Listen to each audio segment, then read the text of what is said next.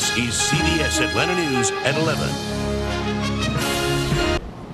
And in honor of the victims of 9-11 and the Boston Marathon bombings, people came out to Norcross today to give blood. The Muslims for Life drives are held across the nation to remember the lives lost in the two tragedies. The goal is to collect 12,000 units of blood, which will save 36,000 lives. I welcome all Georgians, all Americans to donate blood on every anniversary of 9-11. Every bag of blood which we donate saves three lives. The blood drives are held across the nation from now until October 11th.